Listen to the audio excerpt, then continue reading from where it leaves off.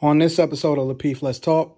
If I had to base my marriage on these up and down feelings of when I'm in love and when I'm out of love and in love and and I'd probably be divorced already because why I I can't base my marriage off of that. I base my marriage off of I don't know what the word is, but it's like he does what he needs to do for me and I appreciate that and I respect him. That's how I show my love to my husband. I respect him. I asked my husband one time, I said, Do you prefer if I love you or respect you? And he said, without a second, respect me first.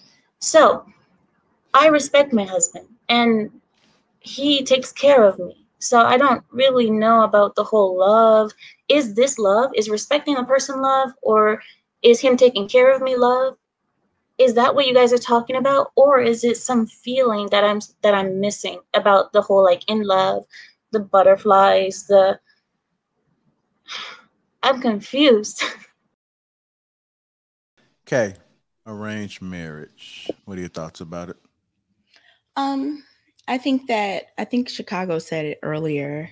Um, the social infrastructure, the cultural like situations just aren't there um, for us to do that. Uh, and speaking specifically for Black people in America, um, many parents are not married. So, like, if you're not married and you haven't had a successful marriage, how are you going to successfully figure out a marriage arrangement for your children? Um, so I think there's other things that need to be worked on first. Like, I don't think that's the first thing anybody needs to be thinking um, in terms of the betterment of uh Americans or Black Americans more specifically, um, arranged marriages more so come when there is that strong social family structure that's meant for a purpose. Like, look,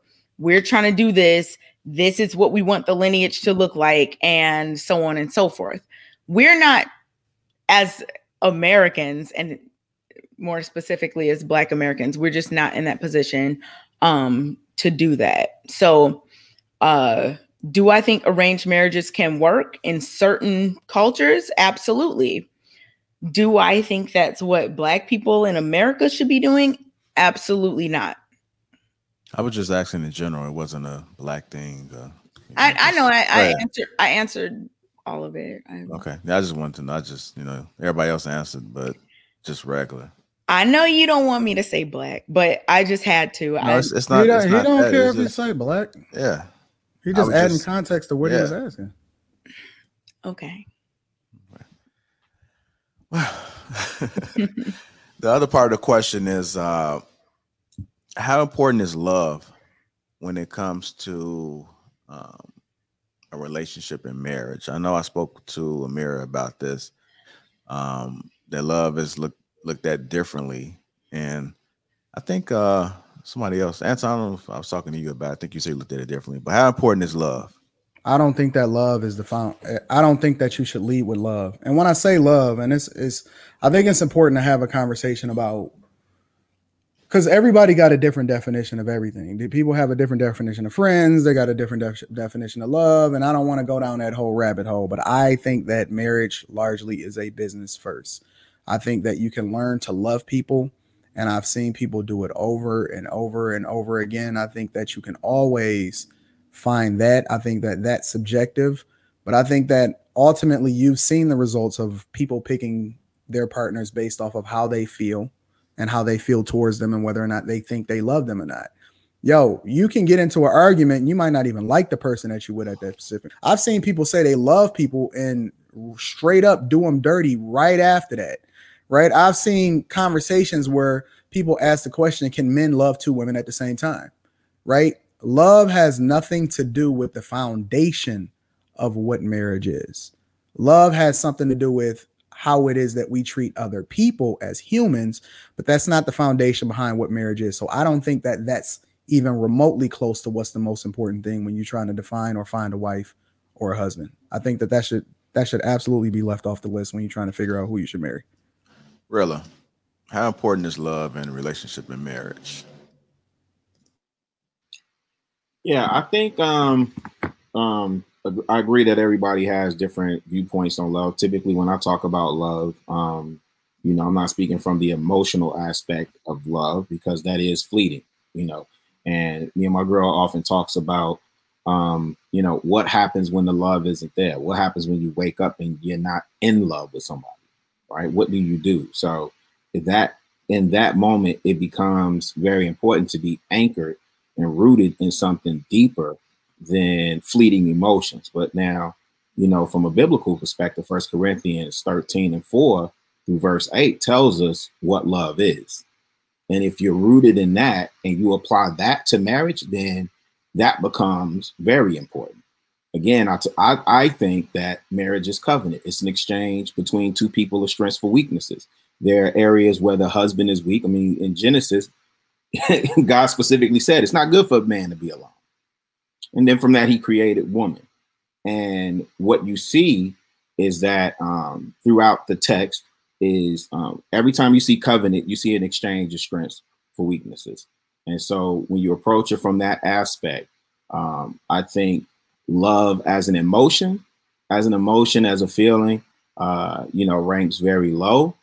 But uh, love as a characteristic and expression of God uh, ranks very high my opinion.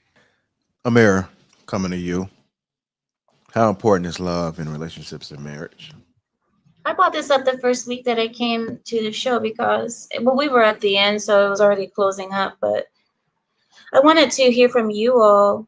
What is your view on love and why is it so important? Because, like I said, for me, I think love is more of a, a thing you do, not this. I feel like a in a, in American culture, it's like they focus on this love concept as a thing. We see it more as does your husband pay your bills? Does he take care of you? Do you are you missing any meals? Do you have clothes? Do you have the things that you want and need? That's your husband loving you. Never I don't I don't think I've ever been asked by my family. Uh are you in love? Or something like that. When I got married, I wasn't in love. Neither was my husband. Well, I, I don't know. I don't know about my husband. I never asked him, but I fell in love with my husband two months, around two months after we got married. That's when I fell in love. And then I fell out of love around the fifth month because he got irritating. I was irritated.